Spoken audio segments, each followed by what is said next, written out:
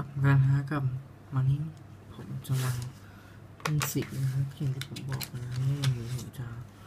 เป็นการไลฟ์สตรีมแบบพิเศษนะ